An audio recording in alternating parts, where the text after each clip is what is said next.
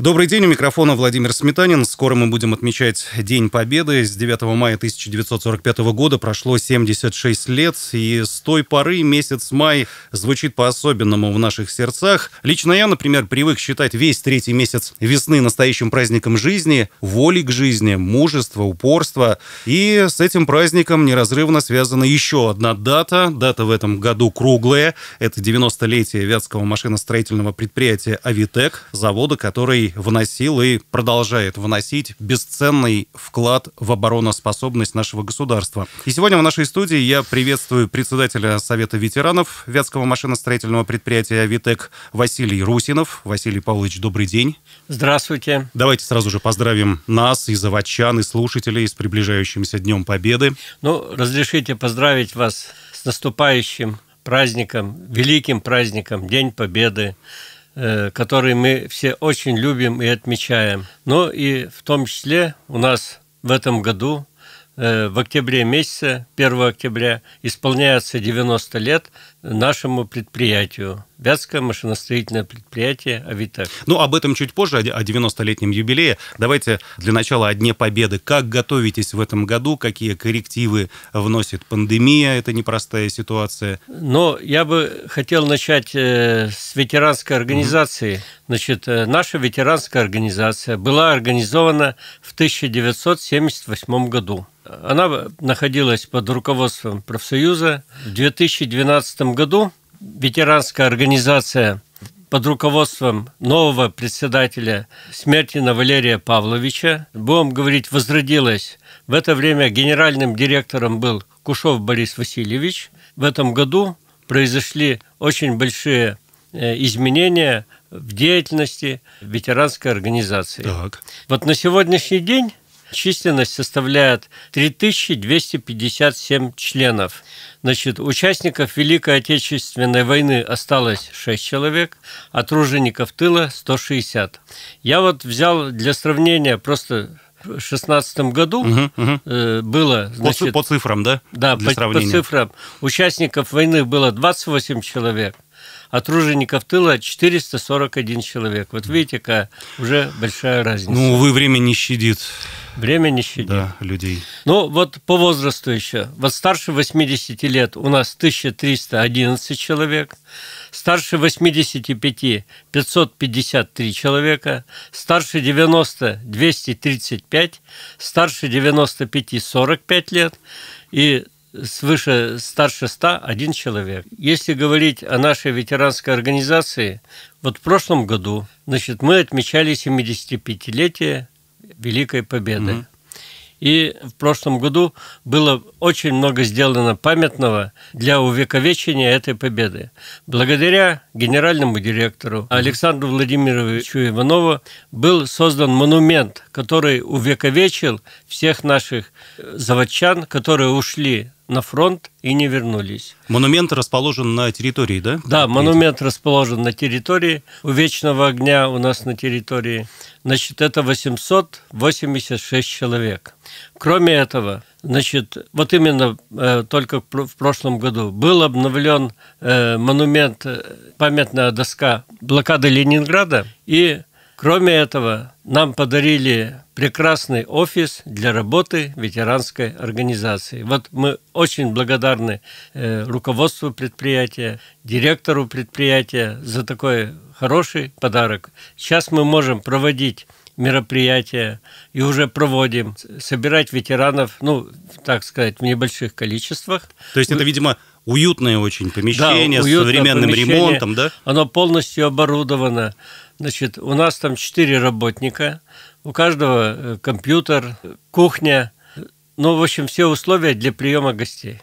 А до этого в каких условиях приходилось работать, для чтобы, этого, чтобы для сравнения понимать? Да, для этого получалось так, что у нас комната располагалась на втором этаже, потом там начался ремонт, нас перевели на третий этаж, и вот наши ветераны, пожилые люди, приходили на третий этаж, Значит, Но тяжело, безусловно, подниматься. Отдыхали, пока поднимались. И вот благодаря этому сейчас все это находится на первом этаже.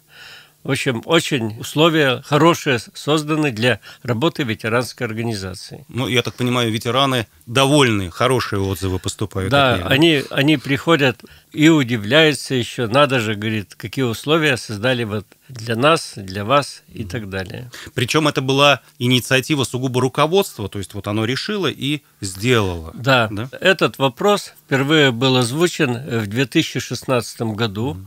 на конференции, на отчетно-перевыборной конференции, и Александр Владимирович сказал, что мы рассмотрим этот вопрос, и вот за это время было произведено решение и произведен очень большой ну, будем говорить, дорогостоящий ремонт. Угу, угу. Я бы хотел коснуться еще что. Вот в прошлом году, в связи с 75-летием победы в Великой Отечественной войне, конечно, пандемия внесла очень большие коррективы. Мы не могли собирать большие, так сказать... Группы ветеранов. Группы. Угу.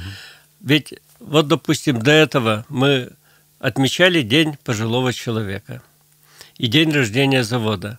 Мы арендовали Дом культуры, значит, и в течение четырех дней, согласно графику, приглашали ветеранов, где они, мы их поздравляли, награждали. Дальше концертная программа была прекрасная. И вручали обычно денежные подарки. Вот в прошлом году ну, нельзя было собирать такие массы людей. Ограничения были, да. Были ограничения. Но в прошлом году все же, вы знаете, когда значит, участников Великой Отечественной войны, тружеников тыла, значит, вот эти медали юбилейные, которые были, мы помогали, э, ездили по домам, вручали. И еще от нашего завода были денежные подарки участникам войны по 25 тысяч рублей дополнительно тому, что, значит, было решено, значит... К тому, и, что государство, да? Да, к тому, что установило. государство. Угу. А труженикам тыла по 10 тысяч рублей.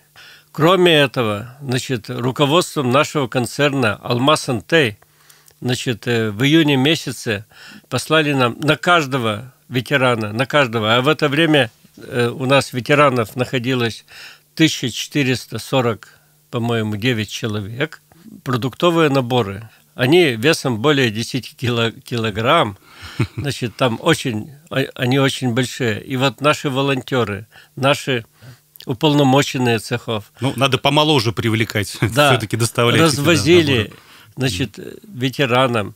И ветераны были, конечно, все очень благодарны. Значит, вот такую громадную работу провели, значит, поздравили ведь не только участников войны и тружеников тыла, а вообще всех ветеранов. Угу. Ну вот, если говорить о нашей ветеранской организации, то мы ведем ежедневный прием наших ветеранов. Так, с какими вопросами, с какими К нам темами обращаются? В, основ, э, в основном приходят э, по оказанию материальной помощи. Это э, подарки ветеранам в денежной форме к Дню пожилого человека и к Дню рождения завода. В октябре, соответственно, да, когда мы года. приглашаем всех угу. на праздники, мы, значит, им вручаем это. Дополнительные денежные подарки труженикам тыла и участникам войны. Вот что мы нынче уже сделали, мы нынче участникам войны по 5 тысяч вручили. То есть наши уполномоченные, наши волонтеры уже всех объехали. И э, труженикам тыла по тысяче рублей. Простите, Василий Павлович, уточню, собираться опять-таки в этом году не получится, да? Вместе? Нет, в этом году мы планируем собраться, арендовать снова Дом культуры. Но это будет зависеть от того, что как будет э, вопрос пандемии. Угу. Какое решение власти примут, региона да. в частности? Если будут большие ограничения, конечно, этого делать нельзя. Увы, будет. не получится. Но вот здесь, значит, вот уже здесь, э, э, к Дню Победы, 7 числа, мы приглашаем наших ветеранов посетить завод, поучаствовать в митинге или шествии, значит, э, с Днем Победы. У нас такая практика проводится.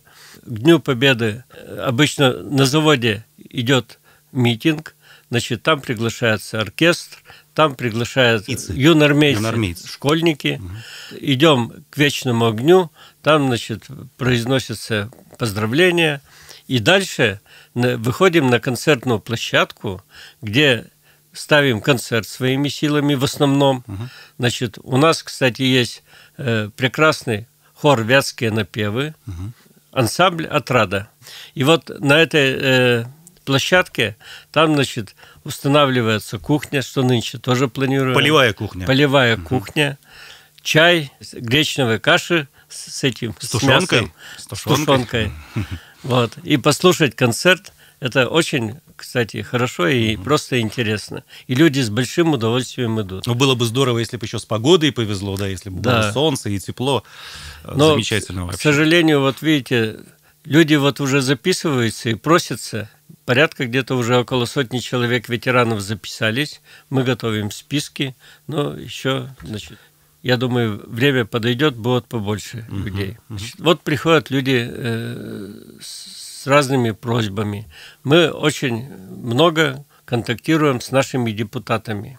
У нас, значит, Гончаров Герман Анатольевич – Коврижных. Заместитель председателя законодательного собрания да, да, Кировской области. Коврижных Сергей, э, Халевин Сергей. Это депутаты Кировской городской Это думы. депутаты Кировской городской думы. И вот когда люди обращаются с тем или другим вопросом, которые мы сами не можем решить или не в состоянии, мы обычно обращаемся э, через этих депутатов помочь в решении вот этих вопросов. Что за список вопросов?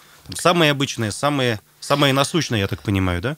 Да, там и благоустройство, и дороги, и э, тут вот мужчина подошел, с жильем у него вопрос, подключили мы там депутатов, значит, вопросы разные. Но обычно по материальной помощи, значит, мы какие вот оказываем материальную помощь? Вот в связи со смертью наших ветеранов. Угу. Значит, мы оказываем материальную помощь в размере 7 тысяч рублей для тех, кто работникам завода, угу. а тех, кто не работает, не работающий на заводе, там по 5 тысяч рублей. Значит, дополнительная помощь всем ветеранам-юбилярам по 500 рублей. Проведение встреч в кафе. Вот проходит квартал, мы, значит, э, юбиляров приглашаем в столовую, накрываем им столы, организовываем праздничный концерт для них, поздравляем, ну и люди и танцуют, и угу. но к сожалению, ну, такой в хорошем да, понимании такой вечер, встреча, праздник, да. да. К, к сожалению, в прошлом году мы только один сумели провести в январе месяце, а потом все эти мероприятия из-за пандемии опять-таки да, пришлось отменить. Пандемии. Ну, надеюсь, что все вернется на свои, на круги свои, да. Так. Дальше у нас был еще такой момент, значит, мы э, одиноким ветеранам оказывали помощь, значит, в бесплатных обедах. Это, значит, по 15 обедов ежемесячно. Угу. Тоже пришлось отказаться временно пока из-за этого. В настоящее время, значит, мы компенсируем путевки в санатории половину стоимости путевки, но не менее, не более 15 тысяч рублей. Так что если человек... Активно 30... пользуются это, этой да, возможностью ну, пользуются. Ветераны. Вот в прошлом году, я не буду врать, где-то порядка 20 человек, значит, обратились э, ну, за компенсацией вот по этим путевкам. Uh-huh, uh-huh. При проведении дорогостоящих э, операций, дальше протезирование зубов, приходят люди, значит, ну, подтверждающими документами, что они вот оплатили вот такие-то счета. Слушайте, мне даже не верится, что такая поддержка существует до сих пор на предприятии. Это что-то вот... Да. В моем понимании это что-то давно забытое, сказать, а оказывается хочу это есть. Хочу сказать, что у нас смета утверждается генеральным директором вот последние два года по 6 миллионов рублей. Угу. Ежегодно на деятельность как раз-таки Совета да, только ветеранов. На, на деятельность, угу. оплату наших мероприятий. Ну, мне кажется, что, конечно, хотелось бы больше, потому что ведь э, хочется каждому помочь, да, и удовлетворить его запрос, но вот пока в таких рамках. Но и это очень-очень солидная сумма, безусловно. Да, ну вот еще бывают там и пожары, и э, вот Чрезвычайные такие, происшествия. Да? да, это всегда, конечно, мы оказываем. Ну и вот еще, что мы, значит, я бы сказал. Вот в прошлом году мы, конечно, мало было организовано, значит, проведение экскурсий по историческим местам. Угу. Вот в позапрошлом году мы провели более семи экскурсий обычно берем автобус не менее на 50, на 50 человек, и даже вот съездили в Ашкаралу. А, даже исторические места-то имеются не только в рамках Нет, нашего города, но да, и в другие только, регионы поездки. Да, мы угу. ездим и в Слободской ездим, там вот музей Бакулева, угу. в Кирово-Чепецк ездили, ну и в другие, э, значит, города. Но, к сожалению, вот экскурсии эти пришлось... Временная приостановка. Так Временная скажем, приостановка. Да. Хотя в этом году мы уже пять экскурсий провели каких? Приглашали наших ветеранов в обновленный музей. Ну, это отдельная тоже очень радостная тема, да. Обновление музея в да, при... Причем мы приглашаем сейчас э, как по цехам, э, обычно, значит, чтобы люди, приходя, видели, знали, с кем они работали, с кем общались. Им, конечно, интересно поговорить. Им ведь зачастую не хватает общения угу. очень часто. Угу. Именно посмотреть друг на друга, да, пообщаться о насущных вопросах, поговорить. Я напоминаю, что мы беседуем с Василием Русиновым, это председатель Совета ветеранов Вятского машиностроительного предприятия «Авитек». Желаю вам реализации этих планов, связанных с 9 мая. Ну и, безусловно, будет еще то, наверное, о чем мы не успеваем сказать в рамках этой передачи. Но еще раз вспоминаем про 90-летний юбилей «Авитека», который отмечается в этом году. Здесь тоже своя программа, здесь тоже свой список мероприятий, да, которые вы запланировали. Безусловно. Все же вот, э, может быть, быть, пандемия нам позволит, мы приглашаем всех ветеранов на культурный, э, в Дом культуры э, на концерты, значит, где мы их поздравляем, вручаем денежные подарки, награждаем. Это уже в сентябре месяце, перед Непосредственно перед датой, да? Да, непосредственно перед датой. Угу. И это мы проводим в течение трех-четырех дней. Потому что видите, организация большая, чтобы охватить всех э, ветеранов, это не получается. Чтобы всем было комфортно, да. удобно, ну, чтобы там, не, не толкаться Но, буквально, да? Конечно, у нас ведь есть э, ветераны, которые не в состоянии прийти на эти концерты. Тогда наши уполномоченные, наши волонтеры поздравляют их в домашних условиях. И денежные подарки туда приносят и поздравляют, значит, уже ездят непосредственно по домам. Угу эту работу придется делать, безусловно. Да, mm даже если, вот я считаю, если даже пандемия не позволит собирать э, людей вот в Дом культуры, в любом случае наши волонтеры поедут поздравлять, и денежные подарки мы уже заложили в смету, соответственно, mm чтобы люди не забывали, что завод их не забывают, беспокоятся о них. Сами ветераны, вы общаетесь между собой, они чувствуют торжественность этой даты, все-таки 90 лет, очень солидный срок, они ждут, они надеются, что удастся как-то по-особенному отметить, отпраздновать. Конечно, они ждут. Они звонят и интересуются. Вот еще сейчас, вот «Голос рабочего» газета выходит у нас. Для нас порядка 200 экземпляров приходит. И вот фактически ветераны приходят и разбирают все эти угу. газеты. То есть они интересуются. Опять же, недостаток вот этой информации, они, да, они да, хотят да, получать да. Эти, эти сведения, да. Еще бы мне хотелось, знаете, о чем спросить вас? О культурной жизни ветеранов. На многих предприятиях, я знаю, есть свои коллективы, собираются, поют, танцуют, музицируют. Это такое очень душевное зрелище обычно, когда люди в возрасте становятся моложе буквально на глазах и расцветают. Расскажите об этом направлении работы. Ну вот у нас э, существует хор ветеранов, я уже говорил. Хор ветеранов, он участвует во всех наших мероприятиях, которые мы проводим с ветеранами. Это и чествование юбиляров, это э, вот встречи э, и в Доме культуры, и поздравления ветеранов. Они всегда во всех этих мероприятиях участвуют. У нас есть э, наши самородки, которые не хуже поют, чем наши артисты, значит, мы тоже их приглашаем. Популярные, популярные да, эстрады, да, мы Совершенно верно. Угу и, и песни поют, и играют на, на баяне. Кроме этого, вот у нас есть много предложений. Вот буквально недавно позвонила, значит, э, руководитель из музея Воснецовых угу. и предлагают давайте мы с ними сотрудничаем, то же самое. Привозите ветеранов, мы вам организуем концерт, и, пожалуйста, значит, любое время, с любой тематикой.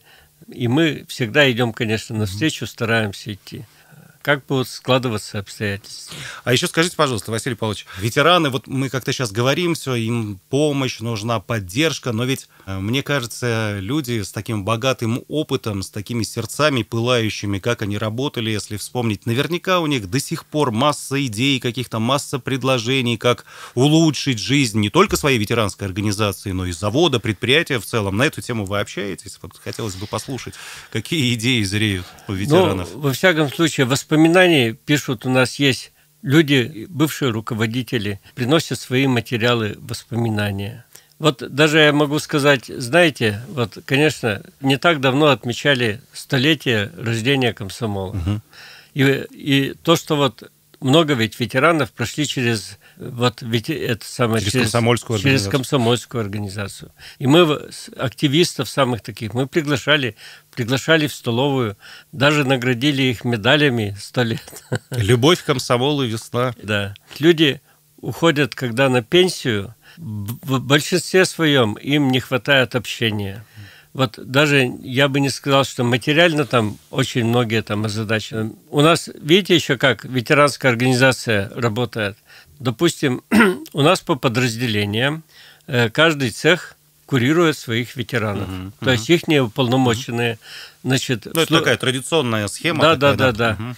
Ну вот последнее время как-то не, не очень это самое, но обычно каким, по каким-то таким памятным датам руководители подразделений приглашают ветеранов угу. посетить подразделение. Угу. Свои родные пенаты, что да, называется. Приходят, значит, я вот когда еще и работал в свое, в свое время, значит, мы всегда приглашали вот, ну, на такие юбилеи, и люди приходили, смотрели, удивлялись, вот здесь новое э, новое оборудование появилось, вот здесь так-то, интересуются, вот кто этот жив, здоров или нет. Угу.